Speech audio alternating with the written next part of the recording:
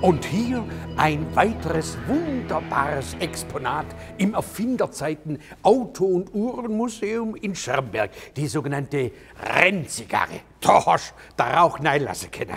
Äh, Ein Hochgeschwindigkeitsgeschoss, extrem stromlinienförmig, äh, nicht leicht zu fahren. Gucken mal, ähm, hier tiefer gelegt, ein äh, ganz tief gelegter Sitz. Es war brutal schwer, nein zu kommen, aber fast noch schwieriger, wieder rauszukommen. Hier die Stützräder, die Stützräder, die erst eingeklappt wurden, wenn das Fahrzeug ein entsprechendes Tempo drauf hatte. Und hier vorne, was man für einen Kühlergrill halten würde, ist eigentlich einfach nur ein Griff äh, für den Fall, dass man eine Havarie hat, hat man es damit heimziehen können. Äh, unglaublich. Ersonnen von ähm, äh, Freiherr König Faxenfeld aus Aalen, hergestellt von NSU. Ah, äh, zusammengenietet aus drei Zinkbadewannen. Äh, Spaß.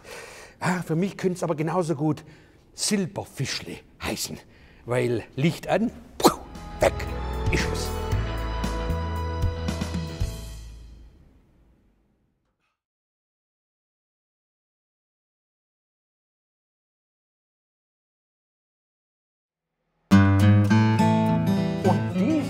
Lustige orangene Dreirad ist ein Weltrekordfahrzeug. Wir schreiben das Jahr 1979. Man weiß inzwischen, dass man Öl sparen muss und so veranstaltet die Zeitschrift äh, äh, Automotorsport gemeinsam mit dem Öl Multi Shell ein Rennen auf dem Hockenheimring. Wer ist der sparsamste? Bei den Amateuren gewinnt die Familie Weber aus Oberndorf am Neckar und hier drinnen saß Gunther Weber. Ich äh, weiß nicht genau, wie Sie ihn reingekriegt haben. Vielleicht hätten Sie auch äh, das äh, Fahrzeug um ihn herum baut. Ich hoffe, er ist wieder heil rausgekommen. Aber ein Liter Diesel, 824 Kilometer, da kommst du ja quasi von Bempflinger bis nach Kopenhagen. Äh, in dem Fall nicht. Ähm, äh, Sie blieben auf dem Hockenheimring und es hat auch keine Ampel gegeben. Und dann äh, im Ziel die Belohnung, du bist Neigfahrer und dann hat Selle Shell geschellt. Weil wenn Selle Shell schellt, na, schellt Selle Shell.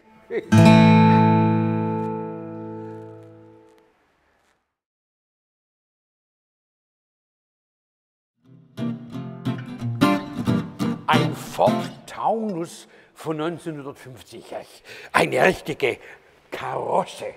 Wer sich so ein Auto mit 3200 Mark leisten konnte, hatte sich äh, gewissermaßen gesellschaftlich schon etwas äh, emporgearbeitet. Oder er ging noch weiter. Hier, der Opel-Kapitän von 1953. 5000 Mark kostete dieses Auto. Ein Traumauto der 50er Jahre mit, mit Wölbung und mit Wülsten. Also wer so ein Auto besaß, war mindestens einmal ein Fabrikbesitzer oder sein verzogener Sohn, der sich heimlich die Autoschlüssel besorgt hat, um mit seiner Freundin irgendwo noch zum Fahrer. Hier eine nicht geteilte Rückbank, hinten noch Platz für die Hutablage und für einen Wackeldackel.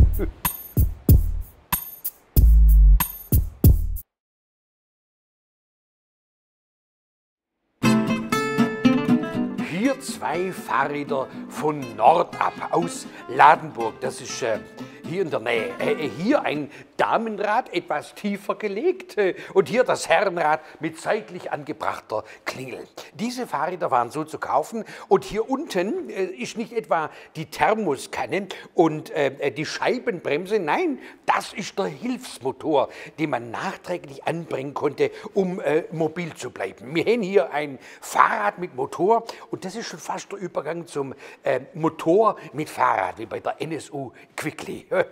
Wenn hier äh, der Motor ausgefallen ist, na, bist halt treppelt. Wenn beim NSU Quickly der Motor ausgefallen ist, na, hast du schon schieben müssen.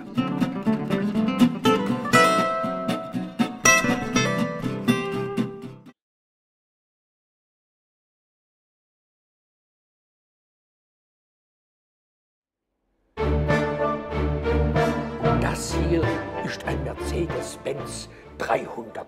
Eine Staatskarosse. Kostete viermal so viel äh, wie ein Opel Kapitän, aber war ja auch alles dran. Hier zwei Fähnle, hier allerdings lachhaft kleine Scheibenwischer, aber es war ja eher zum an der Seite hinauswinken. Damit sind sie gefahren. Der, der, der Adenauer, der, der, der Ludwig Erhard, der, der, der Kiesinger ähm, äh, und so weiter. Also 10.000 wurden davon hergestellt, so viel Kanzler hat man gar nicht gehabt. Äh, vorne der Chauffeur, natürlich optional, der sieht mir ein bisschen aus wie der Günther Oettinger, aber der wäre damals ja noch gar nicht im Politikgeschäft gewesen. Also, äh, uh.